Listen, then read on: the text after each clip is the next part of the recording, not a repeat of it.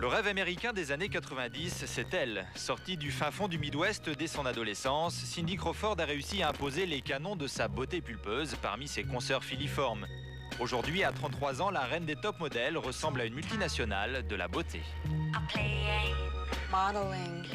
Le mannequinat est devenu un véritable business. Mais c'est encore une jeune industrie dont chacun essaie de comprendre les rouages. Et je pense que depuis les années 80, les gens ont compris qu'on pouvait être mannequin plus que 3 ou 4 ans. Et sa carrière, elle la gère telle une femme d'affaires, revenu annuel 50 millions de dollars.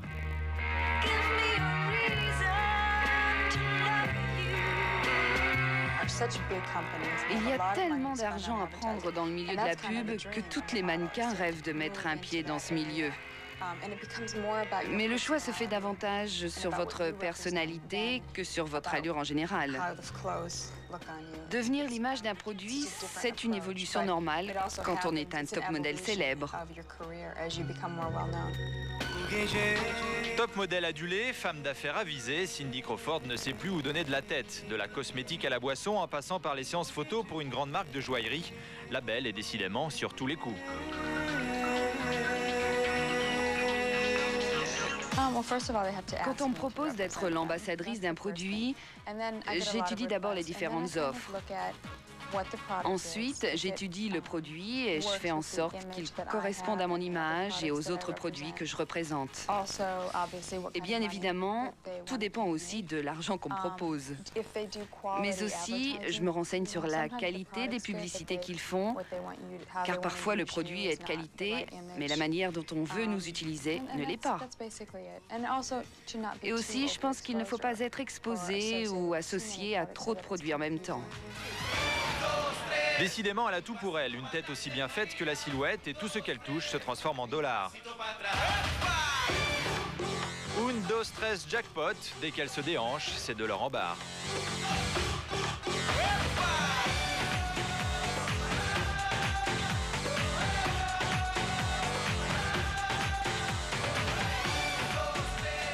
Mais celle que ses rivales ont surnommée le tiroir caisse n'hésite pas à vendre sa plastique pour récolter des fonds pour les enfants malades.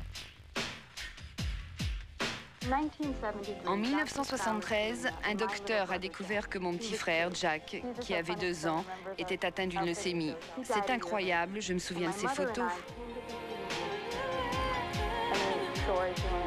Il y a une histoire que tu aimerais raconter au sujet de Jack? Quelques semaines avant son décès, il était dans sa chambre, assis à son bureau, la tête baissée. Alors je suis rentrée et je lui ai demandé ce qu'il avait. Il m'a dit qu'il était en train de prier pour moi, pour que j'ai le courage de supporter sa maladie.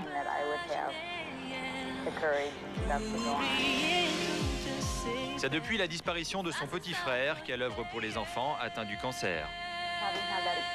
Après avoir traversé une telle épreuve, pensez-vous connaître maintenant quelque chose de plus que les autres enfants?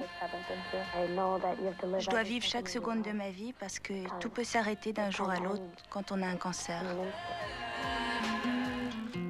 Grande amoureuse devant l'éternel, la belle Cindy a épousé Rand Gerber il y a un an aux Bahamas.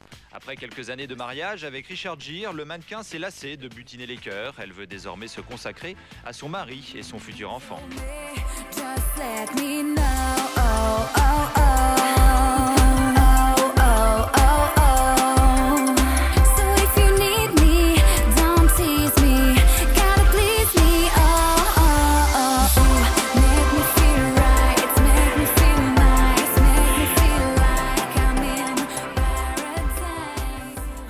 Après avoir été top modèle, Cindy sera certainement une maman modèle.